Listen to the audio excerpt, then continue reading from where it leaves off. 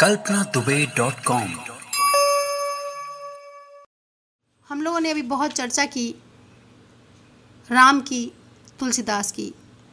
तुलसीदास के द्वारा जिस राम को रचा गया, जिसने राम को अमर बना दिया, जिसने राम को मर्यादा पुरुषोत्तम बना दिया, उसकी हमने चर्चा की।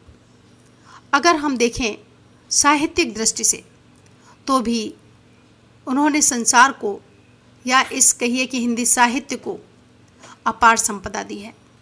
जब भी बात रामायण की होगी, रामचरितमानस की होगी तो न सिर्फ़ भक्ति की बात होगी, ज्ञान की बात होगी, निर्गुण और सगुण की बात होगी, साधु और समागम की बात होगी, बल्कि साहित्यिक चर्चा भी अवश्य होगी।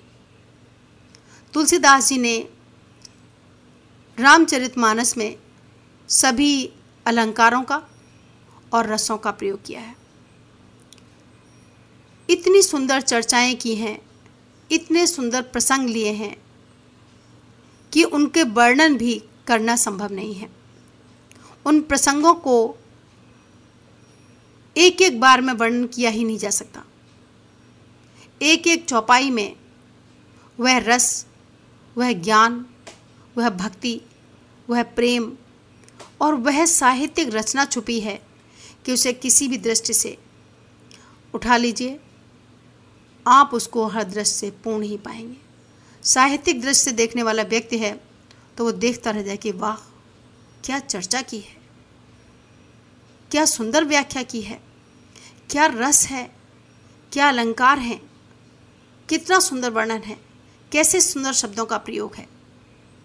और यदि भक्ति की भाव से देखेंगे तो भक्त तो उसमें डूब डूब जाएगा ही। हर पंक्ति दिल में उतरने वाली, हर रचना मन को भाने वाली। साहित्यिक दृष्टि से पढ़ें तो साहित्य की अपार संपदा है। भक्ति की दृष्टि से पढ़ें तो भक्ति का सागर है। ज्ञान की दृष्टि से पढ़ें तो वेदों का सारा सार भी हमें उसी में मिल जाएगा। इतनी सुंदर रचना है रामचरितमानस। रामचरितमानस में तुलसीदास जी ने बात्सल भाव का भी बहुत सुंदर चित्रण किया है। बहुत सुंदर रचना है। ठुमक चलत रामचंद्र बाजत पैंजनिया।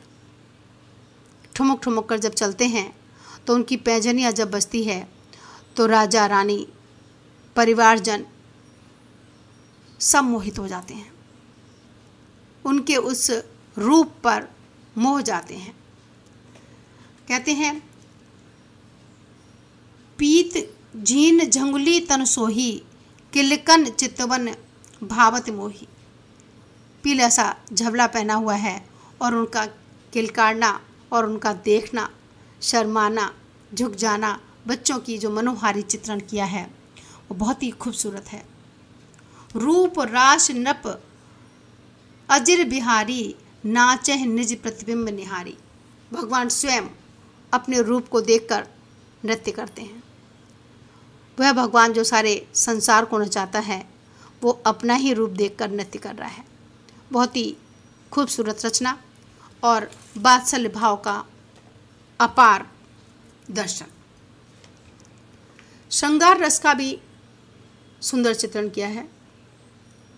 सीता जी पहली बार जब पुष्प वाटिका में राम को देखती हैं तो देखती रह जाती हैं और मन में बड़ी अभिलाषा होती है, चाहत होती है कि मुझे यही वर मिले।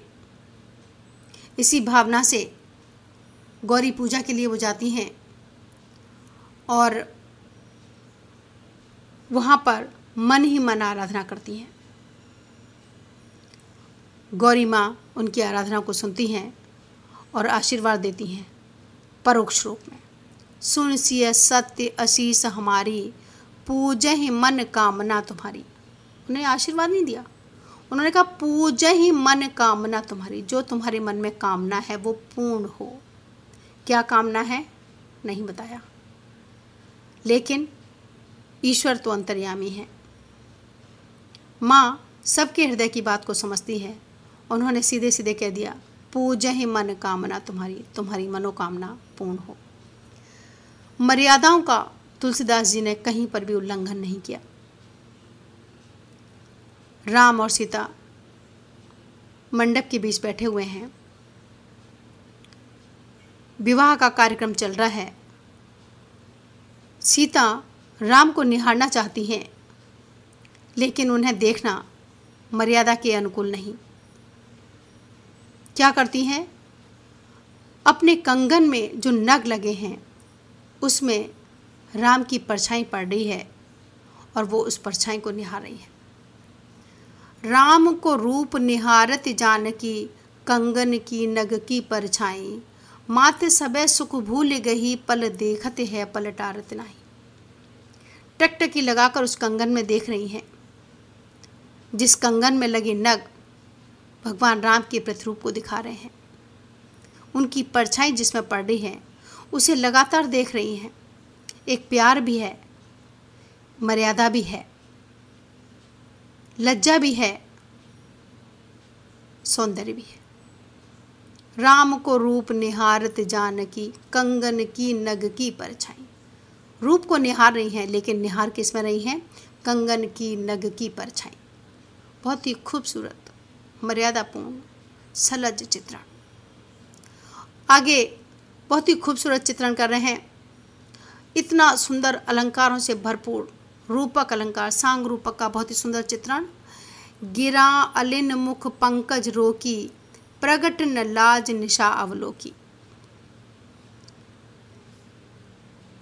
रूपक अलंकार की बात करें तो कितना खूबसूरत सांग रूपक का चित्रण। गिरा अलिन मुख पंकज रोकी, सीता जी के रूप सौंदर्य का चित्रण कर रहे हैं कि उनका मुख कैसा है। कमल के समान। और गिरा अलिन मुख पंकज रोकी पंकज रूपी जो मुख है, उसमें आप वाणी जो रूपी जो भंवरी है, वो बंद हो गई है। आवाज़ नहीं निकल रही। अत्यधिक प्रेम में आवाज़ भी मूक हो जाती है। प्रगट निशा अवलोकी निशा के होने पर जिस तरीके से पंकज कमल बंद हो जाता है, भंवरी उसमें फंस जाती है, उसी तरीके से सीता जी के मुख में वाणी रूपी भंवरी बंद हो गई है। बहुत ही खूबसूरत चित्रण, मनोहारी चित्रण और रूपक अलंकार का बहुत ही सुंदर चित्रण। भक्ति रस तो खैर संपूर्ण रूप से रामचरितमानस में भरा ही हुआ है कि जब जब राम मनुज तन धरही भक्त हेत लीला बहु करही। राम, अपने लिए नहीं, भक्तों के हित के लिए इस संसार में जन्म लेते हैं। इस संसार में भक्तों की इच्छाओं को पूर्ण करते हैं।